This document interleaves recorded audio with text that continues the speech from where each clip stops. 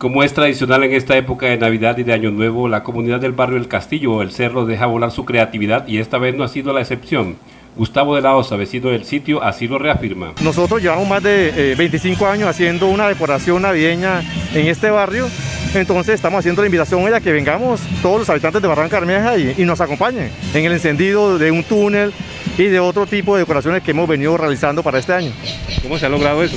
Bueno, esto lo logramos gracias a un trabajo en equipo que venimos haciendo con un grupo de profesionales y un grupo de amigos que siempre, digamos, participan y quieren apostarle de pronto a Barranca Bermeja y culturalmente sabemos de que este es de los espacios que mayor tradición tiene. Entonces en ese sentido nos organizamos, llevamos más de dos años trabajando y queríamos darle una sorpresa a la ciudad. De pronto queremos darle más cosas, pero el tiempo no nos alcanzó, tuvimos muchos inconvenientes, pero bien, gracias a Dios, todo ha salido hasta el momento perfecto. Este abogado barranqueño sabe que es un reto cada año sorprender no solo a los vecinos de la Comuna 4, sino a toda la ciudadanía del distrito de Barranca Bermeja. Lo que vamos a encontrar es pues, un túnel alumbrado, un túnel de casi 200 metros lineales y vamos a encontrar pues obviamente diferentes digamos eh, espacios para que se tome la foto la familia tenemos de pronto la decoración que tenemos aquí al frente, tenemos otros momentos, ¿sí? el letrero de Barranca, tenemos dos letreros de Barranca Bermeja alusivo, tenemos un castillo que está detrás de la tarima, bien iluminado, haciendo alusión al barrio Castillo, y tenemos hoy, hoy, hoy la presentación en tarima de varios artistas locales. La noche de este martes, noche de velitas, la iluminación navideña estará amenizada con distintas agrupaciones artísticas y culturales.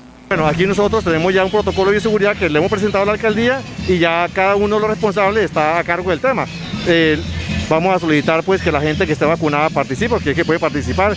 Y obviamente al ingreso pues también el lavado, el, alcohol, los tapabocas para que no se tapabocas y permanentemente estar haciendo vigilancia y control para que utilicemos todo el tapabocas. Para un normal desarrollo de la actividad de inicio de la Navidad se anuncia un estricto control para guardar las normas de bioseguridad y así evitar contagios de la pandemia del COVID-19.